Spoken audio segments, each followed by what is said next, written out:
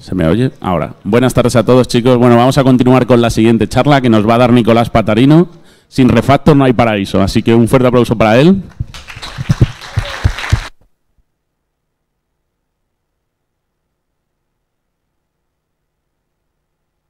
Bien.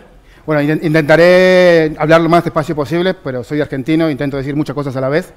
Así que bueno, hoy, bueno, hoy traigo aquí la charla Sin Refactor no hay paraíso, en la cual vamos a comentar un poco todo lo que hemos estado haciendo en, Android, en la aplicación de Android, que es donde, donde estoy yo, en este último año y medio en la aplicación de Idealista.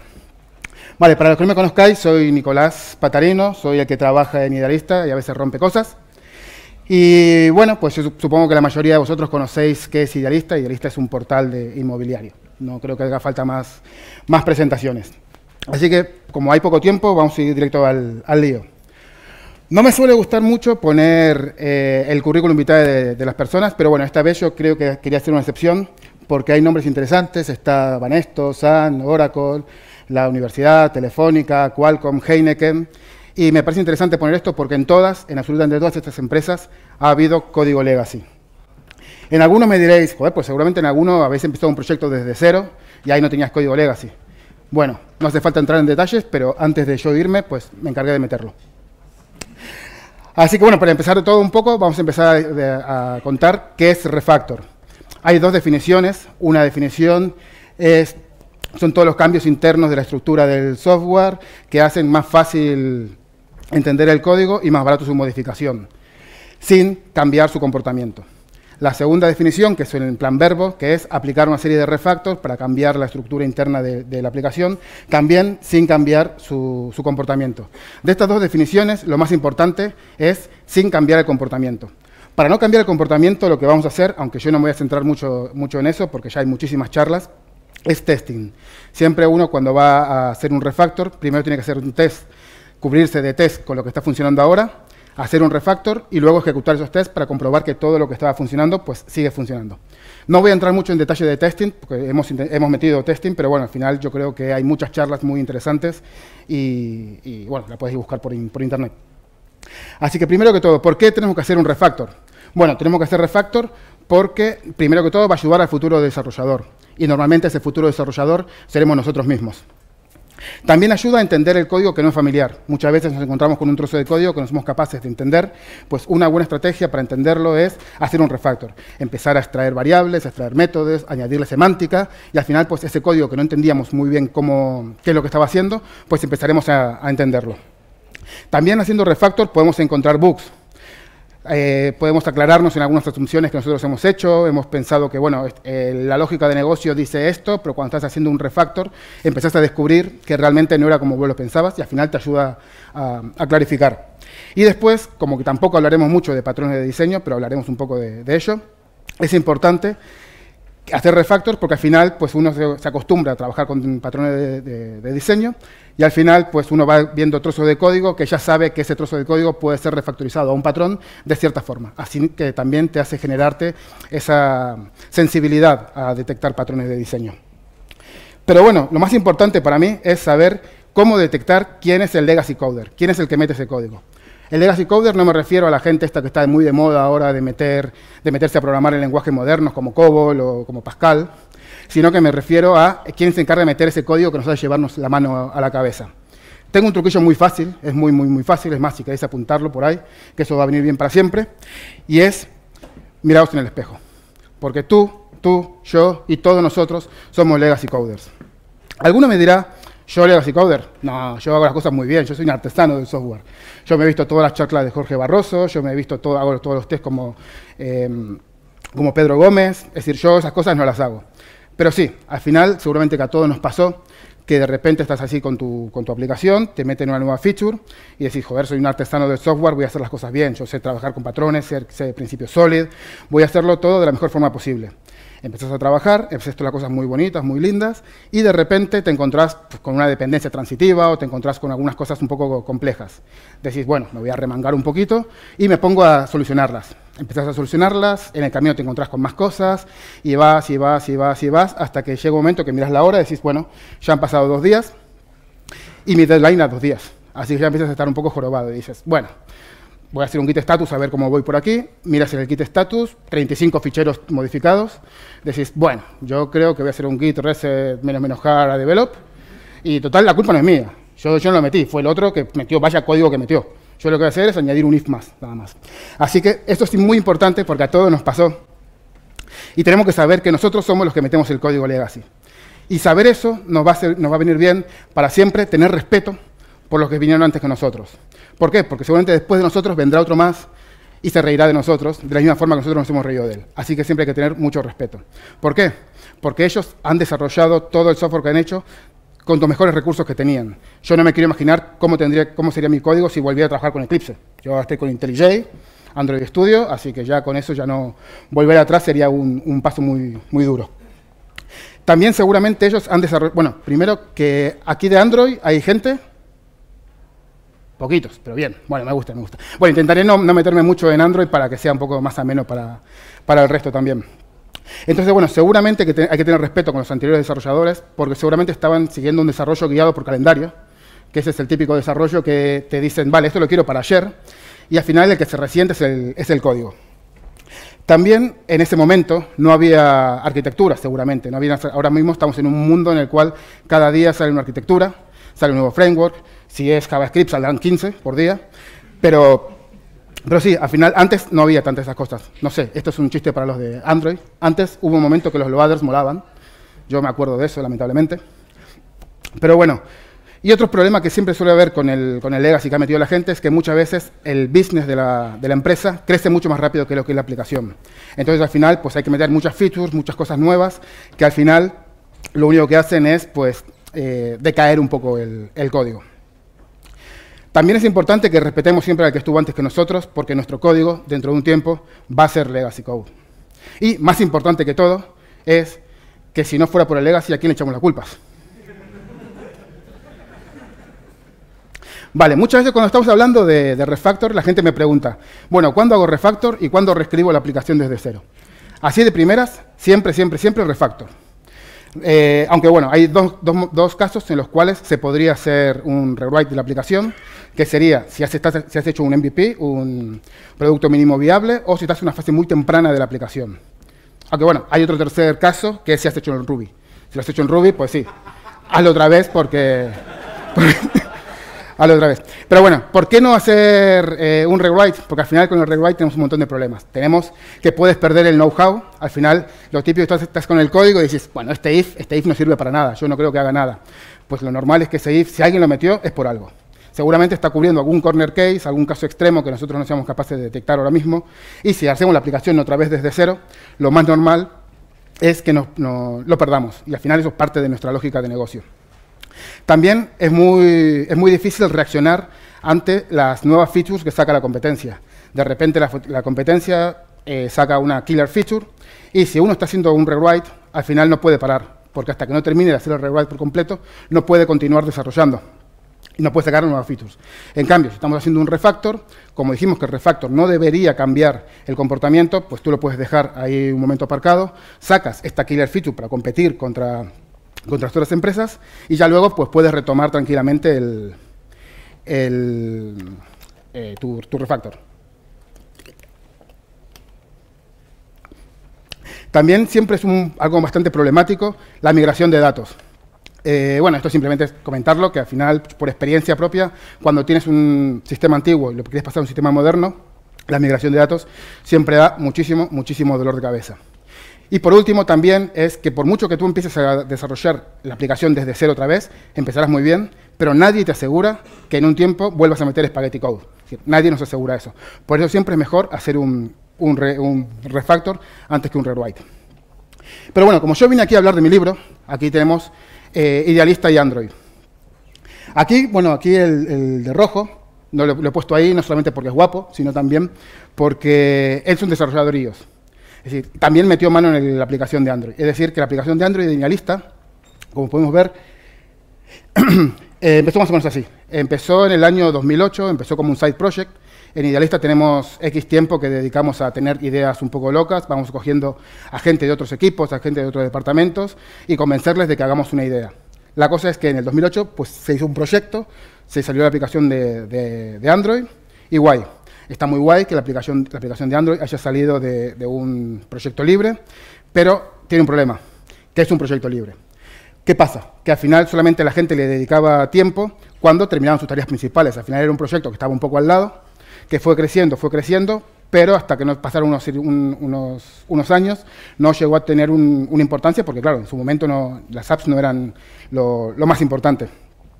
Entonces, bueno, al final el código pues, fue decayendo un poco, al final pasaron muchas manos por ahí, y lo que hemos hecho en este último año y medio es coger todo eso que había y empezar a darle abracitos y, besos. Así que vamos a contar un poco cómo, eh, cómo ha sido nuestro viaje por, por todo esto. ¿Qué es lo primero que hemos hecho? Y lo que yo recomiendo si tenéis que hacer un refactor, ¿qué tenéis que hacer? Primero, estalquear el código. Es decir, tenéis que ver un poco qué es exactamente lo que hay, qué es lo que tenéis en vuestras manos para poder llegar a tomar algún tipo de decisión. Lo primero que hicimos nosotros fue coger y decimos, bueno, vamos a mirar en los últimos seis meses, seis meses vamos a ver qué, cuáles han sido los ficheros que más han sido modificados. Porque si un fichero se modifica mucho, pues cuanto más fácil de entender sea, mejor. Entonces, al final es un, es un objetivo a refactorizar. También lo que hicimos es ver un poco cómo era el tamaño de esos ficheros. Empezamos a ver cuáles eran las clases más grandes que teníamos para intentar trabajar sobre ellas e intentar mejorarlas. Y también otra cosa que hicimos fue crearnos una estructura de la aplicación, de lo que teníamos. Aquí, bueno, no sé si alguno que no sea un poco de Android podrá ver que hay un poco de, de amalgama por aquí. Tenemos aquí una especie de API. Yo creo que se ve mal, ¿no? Pero bueno. Tenemos aquí un parte del API, por el otro lado también tenemos más parte de API. Aquí tenemos todo lo que sería la parte de la vista, que tiene metidas también parte de lógica de negocio por dentro. Al final, bueno, eh, decidimos decir, bueno, vamos a ver si encontramos algún tipo de arquitectura. Estamos buscando, no fuimos capaces de encontrar ninguna y dijimos, bueno, vamos a meter una arquitectura.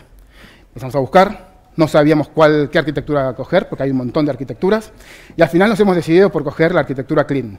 No sé si conocéis lo que es Clean Architecture, ¿sí? ¿Alguien que no lo sepa? Vale, una arquitectura clean es una, es una arquitectura que, está, que ya está definida y hacia muy grandes rasgos. Tiene tres capas. Tiene la capa de presentación, una capa de dominio y una capa de datos, en el cual lo que haces es separar toda la lógica de presentación por un lado, la parte del dominio por otro lado y la parte de los datos. Es decir, en la parte del dominio lo que vas a tener son todas las condiciones, toda la lógica de propia de tu negocio. En los datos va a ser toda la persistencia, ya sea la parte de, de base de datos o la parte de red. Y en la parte de vista, pues todo lo que sea la parte del tema del UI. Lo bueno que tiene esto es que como nosotros lo que tenemos que intentar es que tanto este esta capa como esta capa sean Java. En esta pues, se puede permitir a veces que metas algún tipo de framework o demás, pero al final si tienes esas dos capas completamente abstraídas y son Java, pues al final después puedes cambiar el UI y quitar Android y poner cualquier otra tecnología que soporte trabajar con, con Java. Vale, dentro de, del mundo mobile hay una cosa que se llama MVP, eh, que para los que sean de iOS es como si fuera Viper, que bueno, lo que hace es de delegar un poco las responsabilidades dentro de la vista. Tenemos un presenter, tenemos un, model, que sería toda la parte objetos propios de la vista, y tenemos model view presenter, y tenemos el, view, que sería como una abstracción de tu interfaz, que al final el presenter, en lugar de acceder al propio framework, lo que hace es pues, tener un, una interfaz que se encarga de, mostrar botones, cambiar colores o demás. Vale, nosotros a esta arquitectura que está por ahí, que yo me, parece interesante que la, que la, busquéis y le echéis un ojo, le hemos añadido una, una, capa asíncrona, porque hay algunos casos en los cuales pues a nosotros nos venía, nos venía bien, no es, no es lo mejor, no es lo ideal, pero sí, nosotros tenemos, por ejemplo, algún caso que sea, voy a coger un usuario, le pido el, eh, la parte de la capa de presentación le pide al dominio el usuario, el usuario se lo pide a la capa de datos, eh, la capa de datos le devuelve lo que tenga en caché y se lo pasa al presenter. Pero ¿qué pasa? Que queremos actualizar también ese dato en, la base de datos. Entonces, la capa de datos, además, lo que hace es una llamada red para traerse los datos y actualizarlos.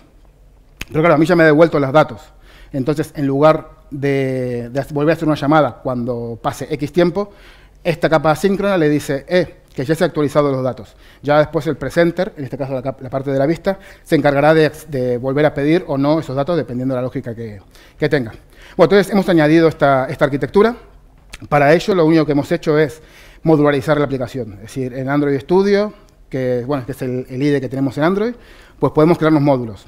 Hemos creado módulos, hemos eh, renombrado paquetes, hemos creado paquetes, hemos movido paquetes y al final, si os acordáis de esta, de esta estructura que teníamos, pues hemos pasado a esta estructura. ¿Qué que por lo menos a simple vista pues parece un poco más, más limpia.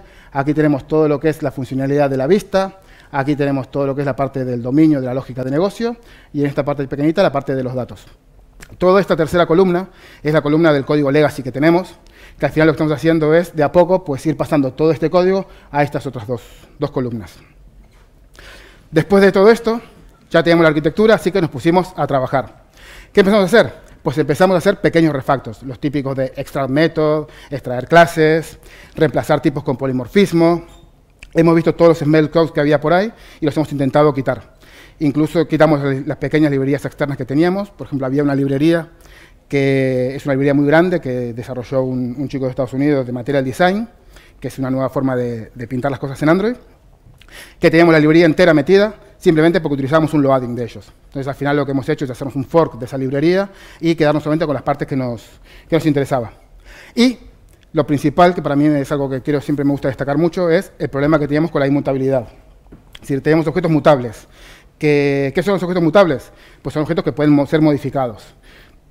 No hace falta que sean modificados solamente por sí mismos, sino puede ser cualquier agente externo puede llegar a modificarnos. Y la mutabilidad no mola. Algunas sí, alguna mola, pero no todas.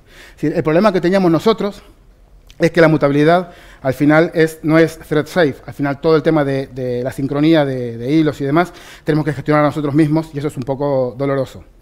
También es muy complicado paralelizar cuando un objeto es, mutable. Incluso tenemos inconsistencias y tenemos excepciones. Un ejemplo de esto sería, yo tengo un objeto usuario, un objeto user, que al final se lo paso a un manager. Todos, nadie tiene managers aquí, ¿no? Los managers son el diablo. Se lo pasamos a un manager que ha hecho un compañero anterior. Y eh, ahí dentro lo que hace es pues, setear un par de variables. Setea el nombre, setea el apellido. Y cuando va a setear la edad, ¡pum! Excepción. Como somos buenos programadores, tenemos ahí nuestra excepción bien recogidita, en la capa superior lo estamos recogiendo, pero ¿qué pasa? Este objeto que tenemos, nosotros podemos continuar trabajando, pero este objeto ha sido modificado, ha sido modificado y no tenemos ningún sistema de transacción, no tenemos ningún sistema de, rollback que seamos capaces de, volver a tener el objeto tal y como lo teníamos antes, por lo cual este objeto ya es inconsistente. Ya no sabemos qué va a tener ahí dentro porque no sabemos en qué momento ha, ha. No podemos cachear objetos si es un objeto desmutable, porque al final, ¿para qué lo vas a cachear si se puede modificar? y tiene efectos eh, secundarios. Por ejemplo, para poner un ejemplo práctico, nosotros tenemos un property filter, que el property filter es como uno de los objetos más importantes que tenemos dentro de, Idealista. Es un objeto donde se vienen reflejados todos los parámetros con los cuales un usuario quiere hacer una búsqueda.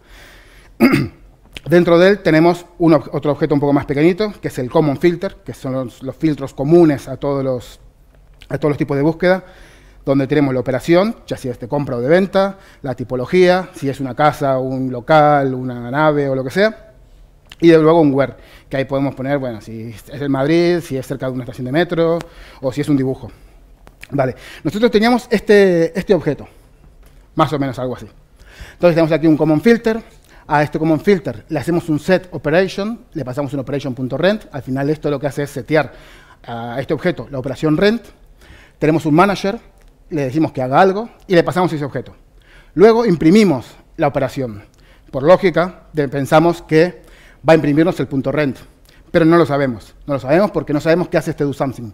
Y como este objeto, al final es un objeto que se puede modificar, no sabemos si dentro lo está modificando o no lo está modificando. Por lo cual, eso a nosotros nos ha traído muchos problemas porque de repente hacíamos una búsqueda, no nos traía los resultados que queríamos y era porque teníamos un manager que estaba conectado con otro manager que al final lo que hacía era coger un objeto y modificarlo sin que nosotros quisiéramos. Perdíamos un poco el control de lo que, de lo que estábamos haciendo. Entonces, una solución muy simple para esto es utilizar un builder.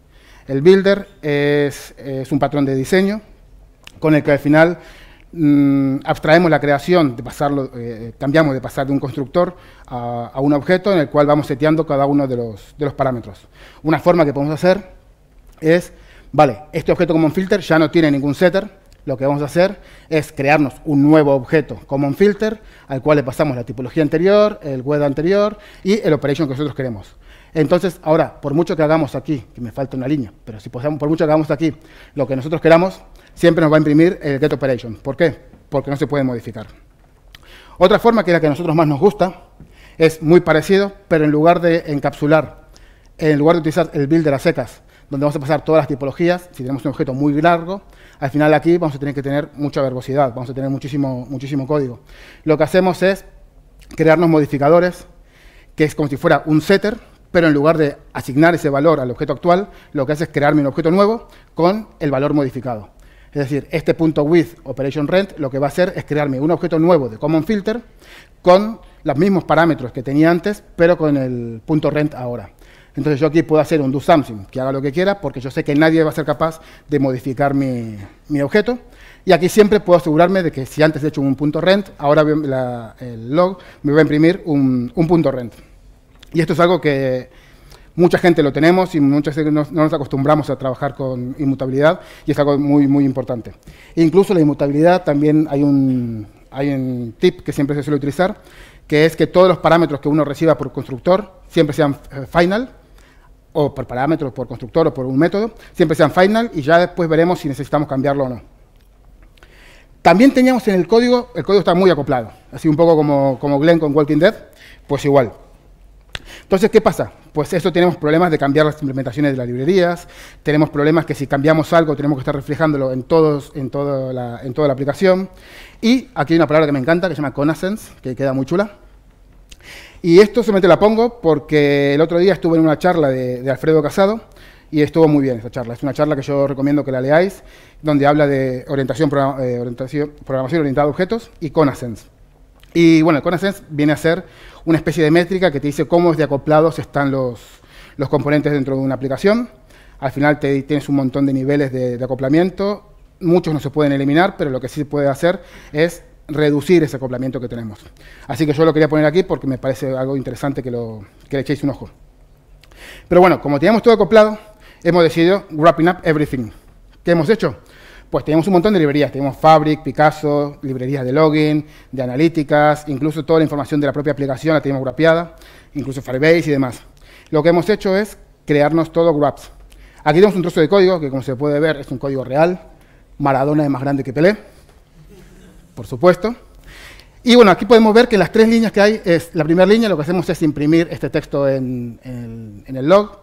En la segunda estamos seteando un texto que le decimos que ponga time dos puntos los milisegundos actuales. Y en el tercero, esto es Picasso, es una librería que, utilizamos en Android para cargar imágenes de red. Vale, ¿qué pasa? Que estamos completamente atacheados a, estas tecnologías. Si de repente nosotros decimos, joder, pues hay, hay otras librerías que no sean Picasso, hay una librería llamada Volley, que también está muy bien, y si queremos cambiarla, ¿qué tenemos que hacer? Tenemos que coger esta línea de código y cambiarla.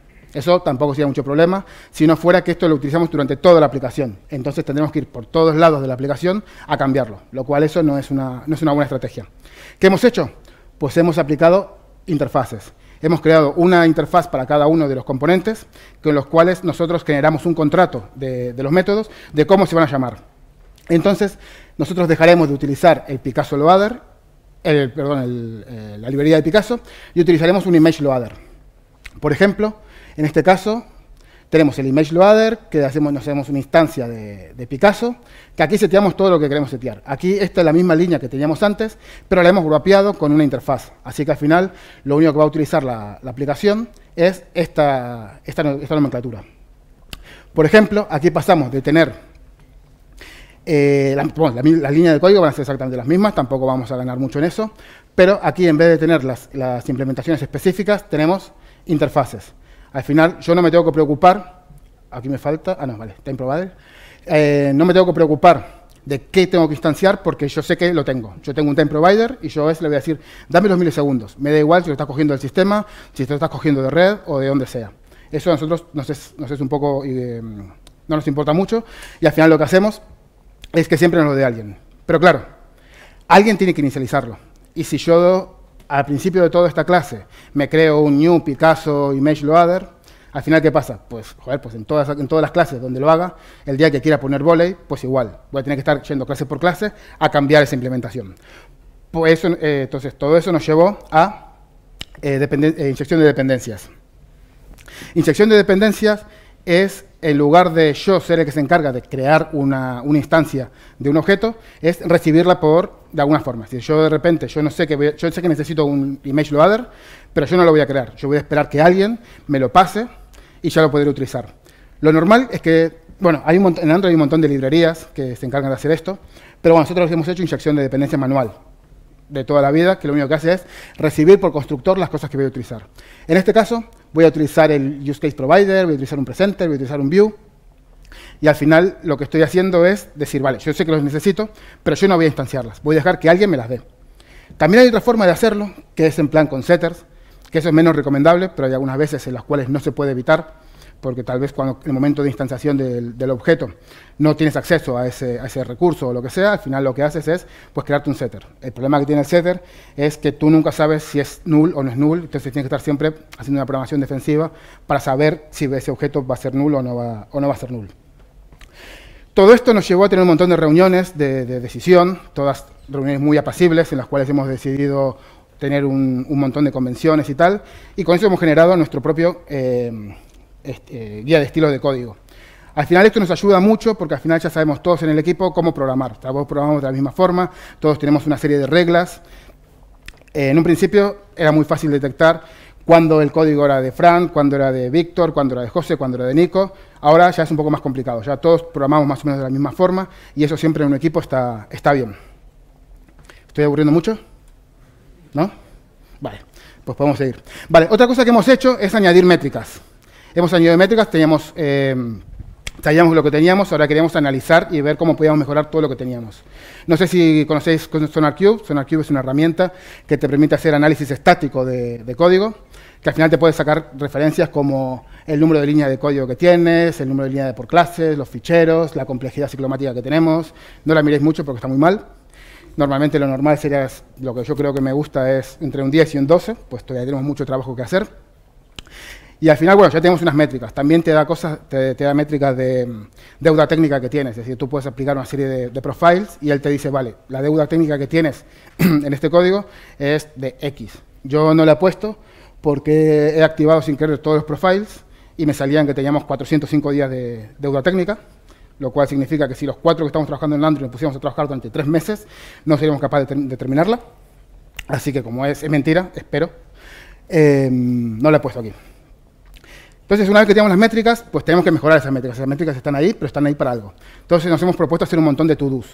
Una de las cosas que hacemos es, si alguien va a meter, hace un commit, hace un pull request, y va a aumentar la complejidad ciclomática de la aplicación, lo que tiene que hacer es reducirla de otro lado. Lo normal es que al final, pues tú hayas hecho un código un poco así y así, lo que haces es corregirlo para bajar la, complejidad, pero puede darse el caso que como programamos muy bien, la complejidad es la que hay, si no, no se puede reducir.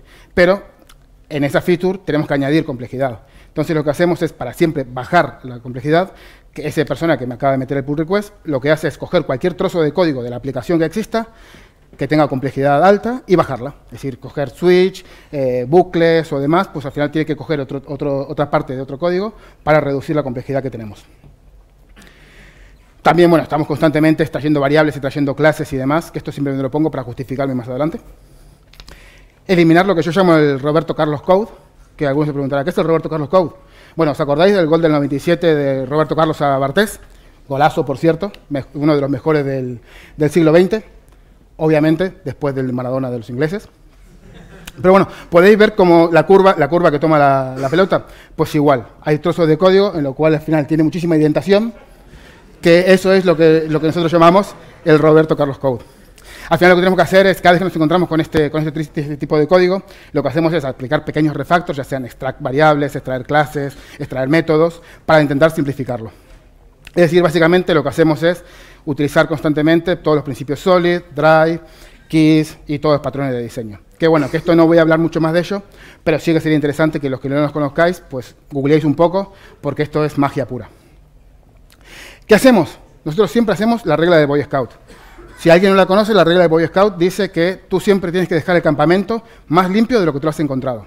Pues nosotros en el código hacemos lo mismo. Lo que hacemos es, yo creo que esto incluso lo han contado en la charla anterior. Así que bueno, voy a ser rápido. Eh, lo que hacemos es que cuando encontramos un poco de, código un poco feo, aunque no esté relacionado con la feature que estamos trabajando ahora, pues lo que hacemos es modificarla, limpiarla. Poquitos, pasos pequeñitos, un poco como contaban antes, pero bueno, al final lo que hacemos es siempre intentar limpiar un poco más de lo que, de lo que estaba. Y también hacemos en el code review. Code review, en el code review lo que hacemos es, cada vez que yo tengo una nueva feature, que la voy a, voy a el código a, nuestra rama principal, lo que hacemos es que otras dos personas, en nuestro caso el equipo somos de cuatro, lo que hacemos es que dos personas analizan ese, ese código y dicen si ese código vale la pena meterlo o no vale la pena meterlo. Y así al final pues, se generan un montón de discusiones eh, para ver si se puede mejorar o no se puede mejorar. El core review es algo que yo siempre recomiendo mucho porque te ayuda mucho a compartir conocimiento, te ayuda a hacer mentoring, te ayuda a crear esos consensos para decir, bueno, a partir de ahora siempre todos los parámetros vamos a poner final, o las llaves las pongo aquí, o yo pongo tabulación en vez de cuatro espacios, o lo que sea. También te ayuda a encontrar bugs, porque al final siempre cuatro ojos ven mejor que dos, o en este caso seis ojos ven mejor que dos.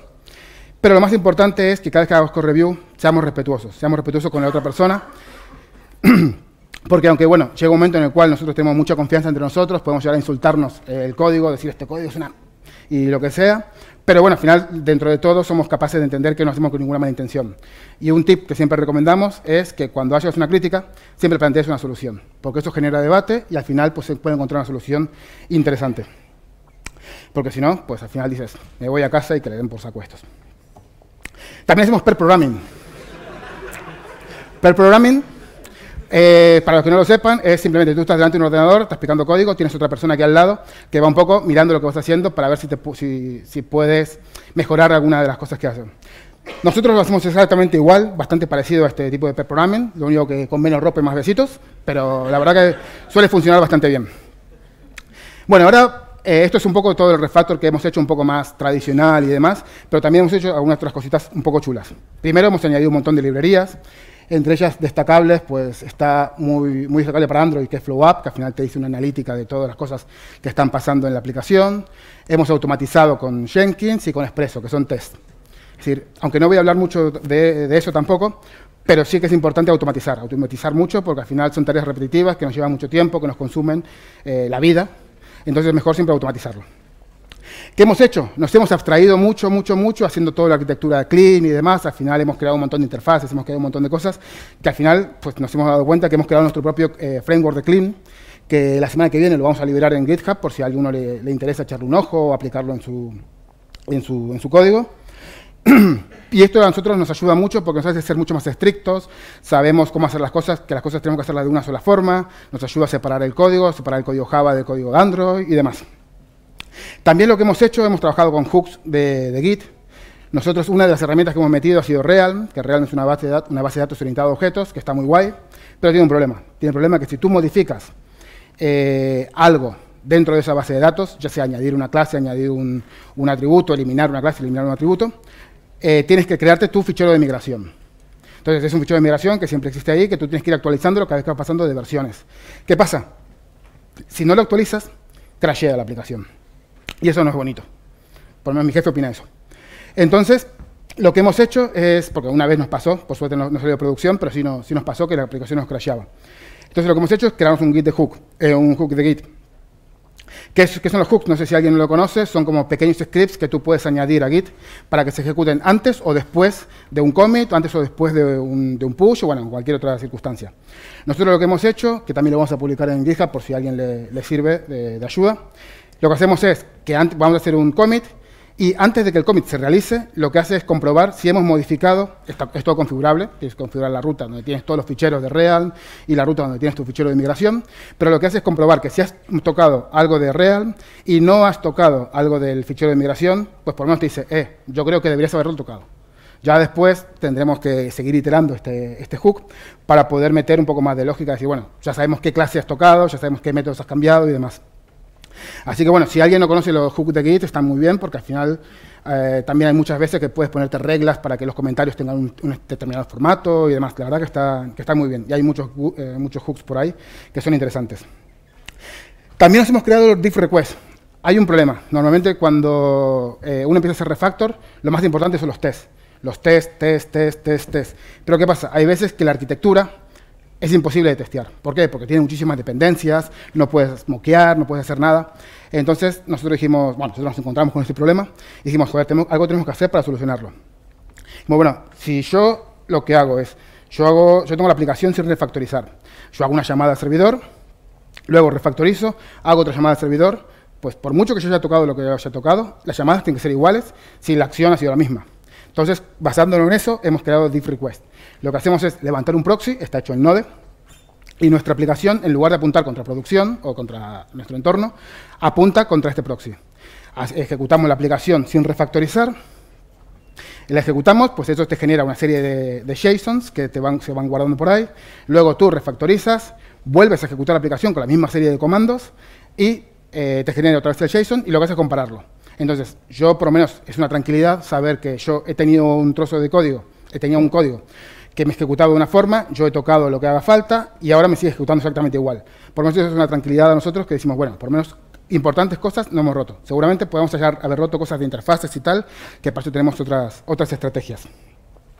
También hemos creado lo que se llama el BROC, que es en el Core Review somos cuatro personas, dos personas se asignan para revisar el código y otra persona se asigna para revisar la parte visual. Entonces, el BROC es el Visual Review OK, que es un poco por lo que nos peleamos. Siempre hay una persona que cuando se hace un pull request lo que hace es descargarse el código, coger los requisitos y mirar los requisitos y además el, prototipo y comprobar que está todo bien y está todo funcionando. Porque muchas veces estamos refactorizando y nos centramos nos centramos demasiado en el código y nos olvidamos un poco de lo importante, porque al final lo importante, el código es muy bonito, es algo chulo para nosotros, pero realmente lo importante es el negocio. El negocio es lo importante y la aplicación tiene que funcionar. Nunca podemos sacar una versión que funcione peor que la anterior. Draw Search, no sé si alguno no conoce esta, esta funcionalidad idealista, crema. Eh, está muy guay, porque al final lo que puedes hacer es dibujar con el dedo eh, dónde quieres buscar tu casa. Al final esto es una, es una, es una funcionalidad muy, muy interesante y es una funcionalidad que es bastante compleja, porque si alguno ha trabajado alguna vez con mapas, es muy complejo trabajar cuando tú tienes eh, un mismo botón, pues cumple, de, ejecuta diferentes acciones dependiendo del estado que haya pasado antes. Entonces, si de repente yo estoy dibujando, le doy a buscar, me va a empezar a buscar, pero ese mismo botón, si está buscando, le doy, me va a poner en modo de dibujar. Al final, pues como que hay mucha, mucha complejidad. ¿Nosotros qué hemos hecho? Pues hemos dicho, vale, esto me suena un poco a estados, porque al final tengo el estado dibujando, tengo el estado de que he seleccionado un anuncio, el de que tengo un polígono dibujado, o que estoy en búsqueda libre. Vale, entonces dijimos, bueno, hay muchísimos más, tenemos como 7 u 8 o 10, por ahí. Y bueno, pero por simplificarlo un poquito, pues lo he dejado con 4. Una vez que tenemos los estados, dijimos, vale, ¿qué acciones podemos realizar sobre el mapa? Aquí he puesto 3, tenemos alrededor de 21. Ahora entenderéis por qué lo he simplificado. Porque lo que hemos hecho es decir, vale, ¿cómo se relacionan entre ellos? Se relacionan entre ellos, pues ya teniendo solamente cuatro estados y tres acciones, pues ya empieza a ser un poco una, amalgama de líneas. Al final con esto nos, ha ayudado un poco a pensar que nosotros trabajamos con, como conté antes, con MVP, que es una, es una arquitectura de Android, bueno, de, mobile, que en iOS es lo que se llama Viper, que lo que hace es separar un poco la vista del framework y demás. Entonces, entonces aquí lo que, lo que hemos hecho es decir, vale, pues yo lo que voy a hacer es que cada estado se va a encargar de gestionar sus cosas. Por ejemplo, si yo estoy en Live Search, hay un objeto Live Search que se va a encargar de decir, cuando yo hago clic en Cancel, que haga lo que tengas que hacer. Si yo estoy en el polígono, cuando hago clic en Cancel, que haga lo que tenga que hacer. Entonces, en este, en, este caso, pues no tenemos lo típico que nos ha pasado seguramente a, muchos de nosotros que hemos trabajado con estados, es lo típico de, bueno, si el botón está oculto y el usuario esté en el título no sé cuánto, pues haz esto. Pues al final nos abstraemos un poco de eso y tenemos una forma un poco más bonita, un poco más práctica, que nosotros hemos llamado MVSP, que es utilizar el patrón eh, MVP, pero con un state intermedio, que nos ha facilitado muchísimo la vida. Pero bueno, no todo esto, esto fue un spoiler de antes, no todo esto ha sido color de rosas. También hemos cometido, cometido errores, pero está bien, it's okay to fail, no pasa nada por, por equivocarnos. ¿Por qué? Porque hemos intentado el objeto que comentaba antes, el property filter, en un principio intentamos quitarlo.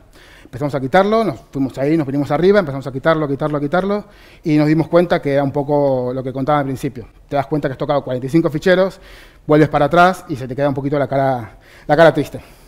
Pero bueno, como somos espartanos, salimos de aquí, de Carlos III, dijimos, vamos a, intentar, vamos a volver a intentarlo. Volvemos a intentar quitar el, property filter y hemos utilizado el, el método Mikado. No sé si alguno lo conoce, para los que no conozcan, hay un juego que se llama Mikado, no es lo que se come ni lo que se pone ahí para que huela bien. Es un montón de, palitos que tú los tiras por ahí, tienen colores, tú tienes un color y lo que tienes que hacer es quitar un palito sin mover ninguno de los demás. Pues en el código nosotros hemos utilizado el, método Mikado para, para quitarlo, para intentar quitar el, el, property filter. Y lo que se hace en este método es, vale, queremos quitar el property filter, lo quitamos. Intentamos compilar, vemos que se rompe, acogemos un, un boli un papel, apuntamos las clases que se han roto, volvemos, a, volvemos atrás y cogemos una de esas clases y la quitamos otra vez. Y vemos que se ha roto. Así con eso, pues seguimos iterando y con eso podemos tener un, po un poco una, un diagrama de qué vamos a romper si quitamos ese objeto. Al final nosotros cuando llegamos al, al séptimo, octavo nivel, dijimos, bueno, yo creo que más adelante no pasa nada, tampoco hay mucha prisa por esto. Así que ya habrá en una próxima presentación, habrá otra vez, otro intento. Pero bueno, al final volvimos a estar también tristes. ¿Qué pasa? Que también hemos intentado eliminar el número de líneas. Si os acordáis, lo que ponía al principio de todo, que ponía que lo máximo eran 2.100 y pico de líneas, creo, pues ahora 2.700... Uy, ¿He puesto la 2 ahora misma? Bueno, antes había menos. Ahora lo que hemos hecho es añadir más líneas de código. Al final esto puede parecer que lo hemos hecho mal, pero bueno, al final es una, es una clase, son clases bastante, bastante complicadas, que al final lo único, lo único que hemos podido hacer es extraer clases, extraer métodos, y al final eso hemos añadido mucho más verbosidad, pero bueno, es algo que estemos ahí pendiente para, para mejorarlo. También nos hemos dado cuenta que hemos hecho menos test de los que realmente deberíamos. Y eso es algo que es muy, muy importante, pero bueno, ya lo hemos solucionado, ya estamos muy centrados en hacer, en hacer test. Por lo cual no pasa nada por equivocarse. ¿Por qué? Porque al final siempre se aprende algo. Siempre se aprende algo. ¿Qué hemos aprendido nosotros? Pues hemos aprendido a hacer siempre pequeños refactors. Si siempre que podamos mejorar el código lo vamos a ir mejorando. Vamos a ser mucho más estrictos con nosotros mismos. Antes, eh, antes cuando uno empieza a, a programar, al final diciendo, bueno, si por esto no pasa nada, si por esto no pasa nada, pero llega un momento que este no pasa nada, pues son muchos, crecen y al final es algo bastante pain in the ass. Hemos automatizado también muchísimo lo que es la automatización, que esto es un poco que no, no he entrado en detalle, pero sí que hemos automatizado con integración continua, con, con continuo delivery y demás, y todas esas cositas chulas que están, que están ahora de moda.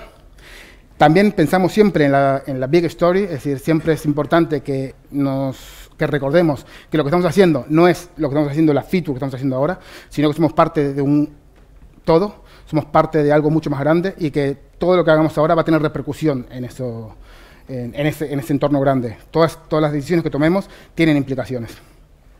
Y nos hemos, nos hemos, aprendido que tenemos que hacer test, test, test, test, test, pero sin obsesionarnos. Si hay, aquí seguramente hay alguno que, que se enfade, pero los, los test no tenemos que eh, obsesionarnos. Nosotros nos pagan por hacer código, no por hacer test.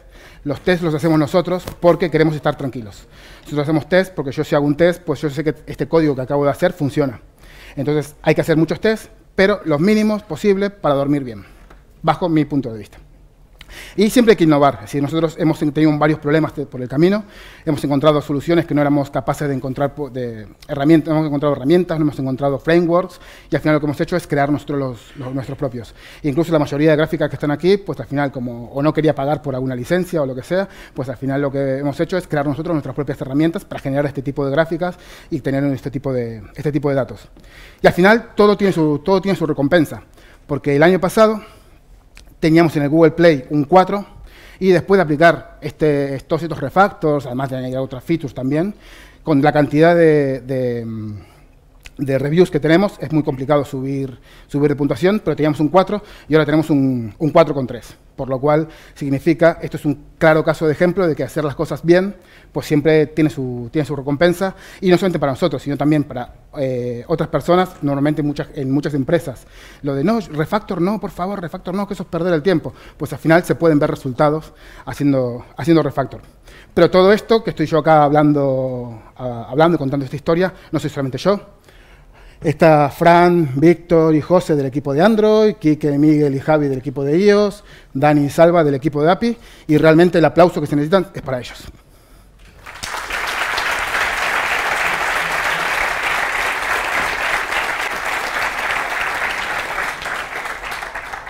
Uy, también quiero, quiero despedirme con un pequeño eslogan, ahí lo típico que queda súper guay en Twitter, que es en plan, no necesitáis ser excelentes programadores, lo que necesitáis es ser buenos programadores con excelentes hábitos. Y ahora por último, ya tomé un poquito, un poquito de spam. En Idealista estamos, estamos buscando gente, y estamos buscando gente que sea así un poco como, como todos nosotros, que se muevan un poquito. Tenemos tres perfiles abiertos, uno que es DevOps, otros, otros que son de, de Java. Y por último otro que es un Data Science, un Business Intelligence o algo así. Así que si queréis eh, y estáis dispuestos, pues me encantaría teneros de, de compañeros. Muchísimas gracias por todo.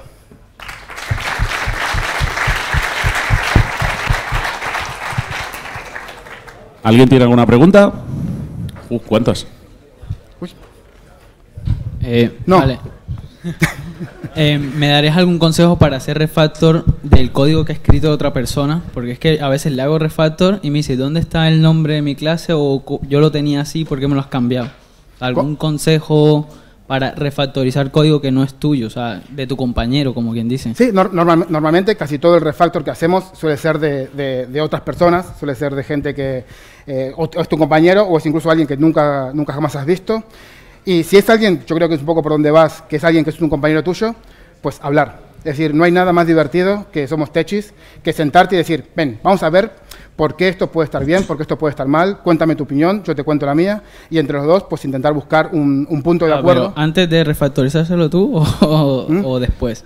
No, yo, yo creo que siempre, siempre hay que hablarlo. Si, si tú tienes la posibilidad de hablar, con, de hablar con alguien, pues lo mejor es sentarte y hablar con esa persona, porque tal vez nosotros nos estamos olvidando o no estamos teniendo en cuenta algo que él sí ha tenido en cuenta. Si tal vez está hecho así por algún motivo, entonces si lo tienes al lado, lo puedes preguntar. Si no lo tienes al lado, pues lo mejor es que empieces a hacer pequeños refactors para intentar saber el por qué se ha hecho eso. Y luego, pues ya tomar decisiones para ver si te falta cambiarlo o, o no. Vale, gracias. Ah. Sí, eh, debido a que los hooks de Git no se pueden subir al repositorio, o sea, tú cuando te descargas el repositorio no te descargas esos hooks, ¿cómo hacéis para que estén eh, disponibles en todos los repositorios de todas las personas? Primero, confianza. lo primero que hacemos es, porque al final el, pro- el problema que, que comenta aquí el compañero es verdad, es no hay una forma, si yo tengo un, hook y lo tengo en un repositorio, yo por mucho que me descargue ese repositorio, los hooks no se descargan. Al final lo que tenemos, lo que tenemos hecho es metido a, pelo en el, servidor de integración continua esos hooks y también confiamos en que toda la gente se descargue los hooks que hay en su equipo y los ejecute. Es decir, cualquiera se lo puede saltar. Al final yo es, un, es un ficherito que yo lo puedo borrar, lo puedo activar, lo puedo desactivar, puedo hacer un force y, ejecutarlo o no. Pero bueno, al final lo que confiamos es un poco entre, entre nosotros de, de hacerlo bien. Pero no hay Silver Bullet. Hola, buenas. Buenas. A ver, has comentado que teníais, habíais elaborado con el tiempo una guía de estilo Ujú. para desarrollar. ¿Cómo, ¿En qué formato lo tenéis? O sea, ¿habéis conseguido eh, definir reglas concretas en el sonar para pasar esa guía de estilo o simplemente es un documento que intentáis seguir? O... No, de- de- del Sonar hemos, hemos utilizado profiles que ya, hay, que ya hay creados por ahí y luego hemos creado nuestros propios, nuestros propios estilos. Normalmente nosotros como trabajamos con, con Android Studio, con IntelliJ, lo que hacemos es los- las reglas de estilo que son un poco más comunes y más fáciles de, de aceptar, pues simplemente las metemos en, en el Android Studio, que al final hay un montón de posibilidades de meterla. Eso se exporta, se comparte entre todos los compañeros y ya tenemos una, una- una guía de estilo para hacer el format, que todo más o menos te lo formatee bien. Pero después el resto es simplemente hablar, es simplemente hablar, que al final eso está guay, porque al final con todos los core reviews que vamos haciendo, pues aunque ya tenemos una guía de estilos bastante definida, lo que vamos haciendo es ir creándola un poco sobre la marcha, decir, joder, pues yo creo que me gusta que los parámetros estén cada uno en una línea distinta. Entonces eso lo vamos haciendo un poco de, mutuo acuerdo y, y bueno, no tenemos automatizado todo, ese sistema de control, pero bueno, pues sí que es un primer paso para, para poder tener todo un poco más eh, homogéneo. Gracias. Buenas. Yo te voy a hacer una pregunta quizás menos técnica. Te voy a preguntar cómo es el reto de llegar a un sitio, un sitio de nuevo, o, adquirir cierta responsabilidad y decir, bueno, chavales, vamos a, hay que hacer un refactor de nuestro código. ¿Cómo lo justificas de cara al equipo y cómo lo justificas de cara al negocio? El esfuerzo y el coste. Vale, aquí principalmente hay dos, dos, dos cosas distintas. Primero depende mucho de la empresa. Es decir, si la empresa es una empresa, como por suerte yo he tenido la, la posibilidad de estar en, en Idealista, que es una empresa que sabe lo que- los beneficios que trae, pues guay, bien. Al final simplemente tú dices, joder, esto hay que, hay que refactorizarlo porque al final estamos metiendo muchos bugs, estamos metiendo muchos problemas. Pero el problema viene cuando la empresa no tiene esa filosofía. Pues yo creo que lo mejor siempre es hablar con ejemplos. Al final tú estás trabajando, estás metiendo una nueva feature y cada vez que metes una nueva feature, el tiempo se va alargando. Son features más o menos del mismo tamaño, pero cada vez se van alargando porque van te van saliendo muchos bugs de desarrollo, te van saliendo un montón de cosillas que no, que no tienes controladas por ahí. Y un ejemplo claro sería el de, el de Idealista en sí. Idealista nació en el 2000 y bueno, fue creciendo, la aplicación desde el principio fue una empresa bastante eh, pionera en el tema de las tecnologías, fue creciendo, creciendo, creciendo. En el 2010 empezaron a descubrir que ahí había problemillas, que cada vez que se metía una nueva feature iba costando más trabajo, iban saliendo más bugs, había bugs regresivos. Así que en el 2011 se decidió rehacer la aplicación entera. Si se decidió rehacer la aplicación entera, a los dos años más o menos se, mm, se tuvo que dar un poco un empujón porque se estaban manteniendo dos sistemas. Es decir, cada nueva feature no solamente se hacía en un solo sistema, sino se hacían los dos, hasta que ya en el 2015 pues ya se pudo generar lo que es el, el core de la aplicación. Con este ejemplo, al final hubo que dedicar muchísimos recursos, muchísima gente, porque ya era imposible meter nuevas features. Es decir, son ejemplos que te pueden dar un poco de justificación ante tu jefe. Tú puedes decir, mira, en Idealista, por no hacer refactor en su momento, pues a los 10 años hubo que rehacer la aplicación entera y eso no es barato.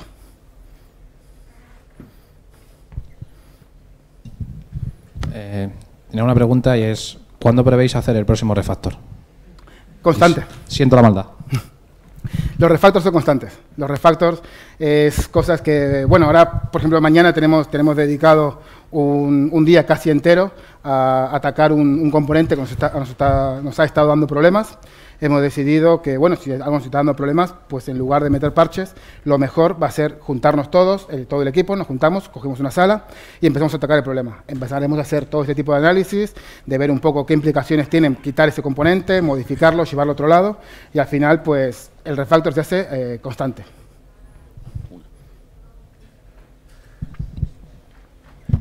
Hola, ¿qué tal? Primero darte gracias, que la charla está muy bien, me ha molado bastante. Y luego preguntarte cómo a la hora de estimar, cuando tenéis reuniones de planificación sprint, ¿cómo estimáis el tiempo a, a, a pull request, re- eh, el review del código y tal? ¿Le metéis un tiempo fijo por sprint, tanto por ciento, por tarea o cómo lo hacéis? Gracias.